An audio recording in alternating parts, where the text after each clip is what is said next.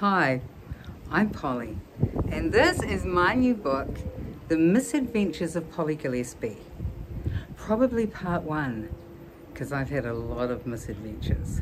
You could call me the mistress of misadventures.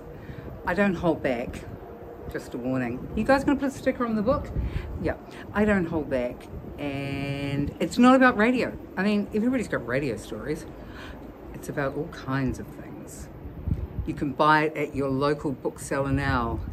The Misadventures of Polly Gillespie, Part 1, on sale now. Get it while it's hot.